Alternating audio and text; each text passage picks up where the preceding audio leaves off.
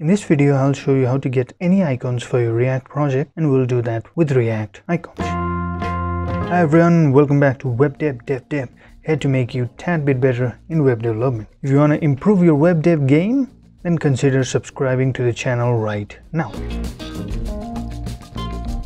So in your browser, search for React icons.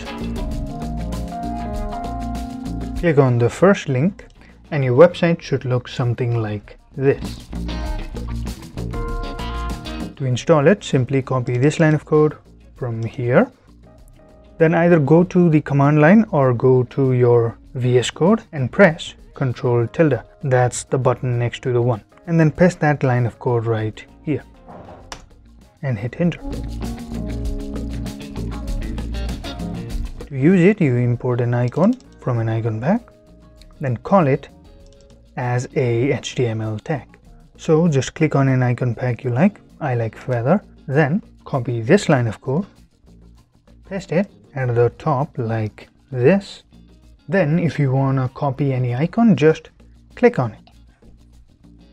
To copy that icon, then back here replace this icon name with that name and then call that icon as an HTML tag. Now let me run this program.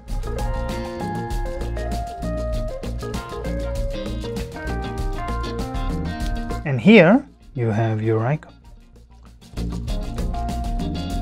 For styling you can give it height, width, foreground as well as background color but things like padding and margin might give you a problem. For example, let's make this icon's height and width as 40. So I'll just go here, write class name and height as 40 which is 10 and width as 40 which is again 10 by the way i am using tailwind css and will be making a in-depth video in it in a few weeks. So consider subscribing to not miss that content. So if i save this go back. As you can see it's a bit bigger. As well as as i said we can add foreground as well as background color. So background let me give it a primary which is my yellow color which is that background. And let's say i want to make this black i'll give it a text which means content text and give it a color of heading text. And there you have it.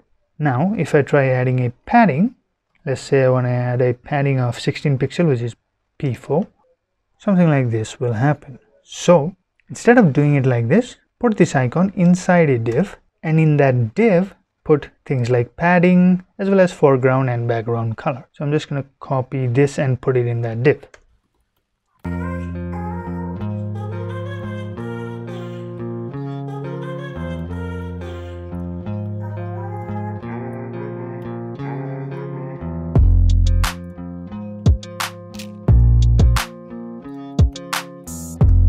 So after doing something like this, once I hit save, it looks much more better. Now to add multiple icons, just click on the icons you like. Then put a comma here and paste that icon and you can call it exactly like you called this icon. And there you have it. So here for demonstration, I'm going to pick like five more icons, four from Feather and one from another icon pack.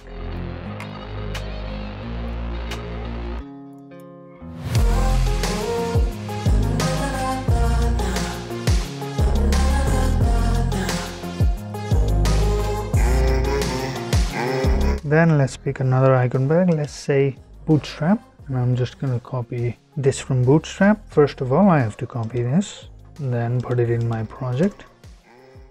And then let's say I just copy this replace my icon name with this. So with that done I'll just make three more duplicates of this.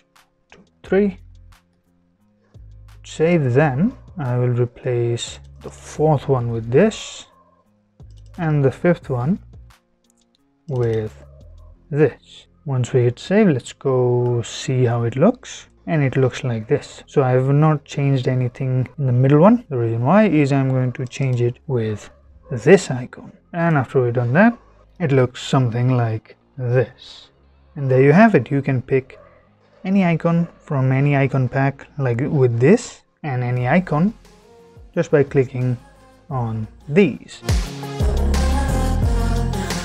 Now you saw many benefits of having React icon but a one con, one drawback of having React icon and I feel like it's only a drawback for me maybe but the drawback is all of these icons as well as all of these icon packs and their icons are already in your project meaning react icons basically brings all of these icons inside your project. Let me show you.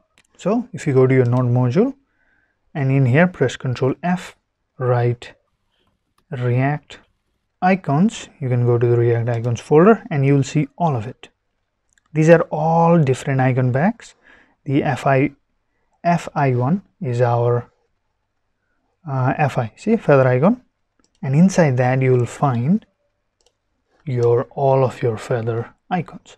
Now the drawback is that we there are so many icon packs that you will not be using even in one icon pack you're gonna only use like in total 20 icons right so this is a lot of line of code that is going wasted might hinder your performance of your website so I would recommend after you have done using all your icons, just go to the React icons and at the top you'll see project. Click on here. By the way, let's do it with Feather. Click on here. It will take you to their website from which you can download individual icons and use it in your project. Might save you a lot of space as well as processing power. So that is the only con. Otherwise, this is a really beautiful project really easy to use really helpful so that said thank you for watching i hope you like the video smash the like button hit subscribe and see you in the next video have a wonderful day bye bye